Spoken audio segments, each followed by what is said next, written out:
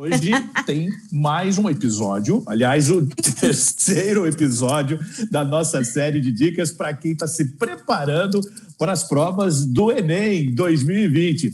E os professores mais feras de Três Lagoas, do Colégio Anglo, dão hoje as, os principais macetes aí para as disciplinas de História, Geografia, Sociologia e Filosofia. Vamos conferir. Olá pessoal, no programa de hoje estamos aqui com mais três feras do Colégio Ângulo. Professor Chesman, que vai dar um toque sobre filosofia e sociologia, professor Fausto, professor de história, professor Paulão, professor de geografia.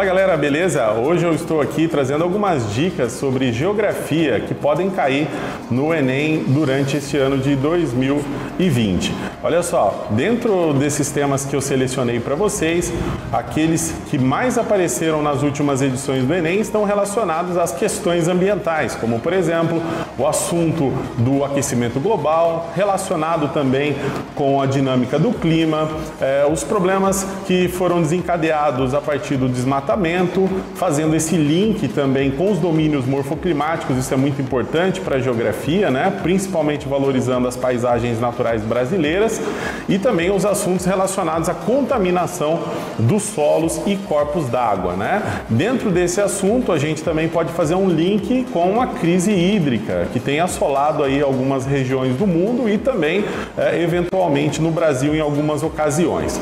No segundo eixo temático, né, eu trouxe para você os assuntos relacionados à urbanização. Desde o momento né, da concepção das primeiras cidades brasileiras, a expansão urbana, né, os fenômenos que fizeram com que o Brasil fosse conhecido por umas, uma das urbanizações mais violentas do mundo, né, o avanço da tecnologia né? E como ela foi apropriada por esses sujeitos dentro do ambiente urbano e como isso separa, né, as classes sociais, aqueles que têm direito a mais infraestrutura, aqueles que têm menos, né? O processo de favelização e os problemas ambientais dentro da cidade que são decorrentes dessa falta de planejamento e dessa rapidez com que esse processo atinge não só o Brasil, mas hoje em dia os países subdesenvolvidos.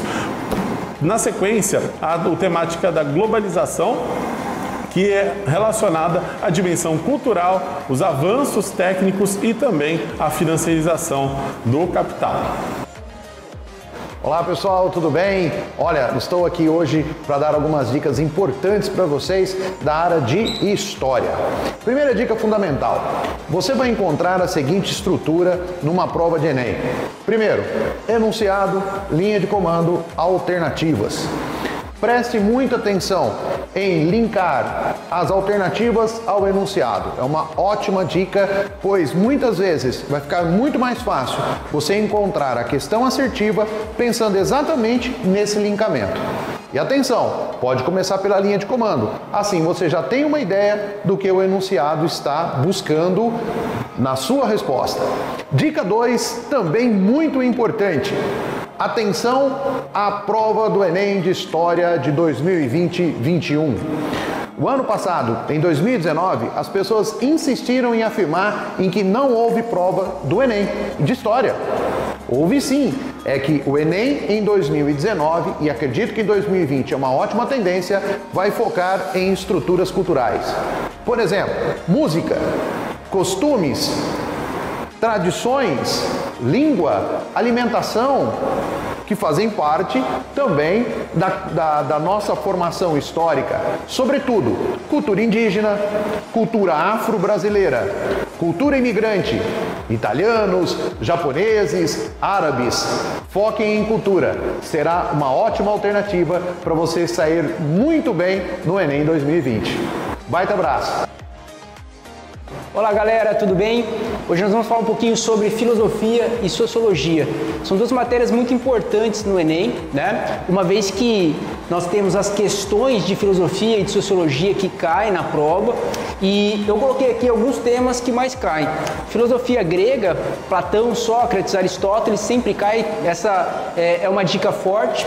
Filosofia política, principalmente contratualistas, né? E também ética e moral, que é um tema também muito recorrente no Enem. Além disso, em sociologia, nós vamos falar de sociedade.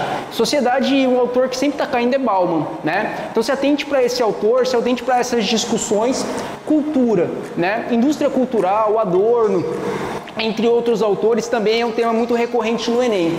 E por último, política. Né? É um tema que tanto a matéria de história, quanto a matéria de geografia, como a matéria de ciências humanas de modo geral, política é um tema então muito recorrente. Só para fechar, se você acha que filosofia e sociologia só pode ser usado nas questões, é, tem um plus aí. Você pode usar também na sua redação.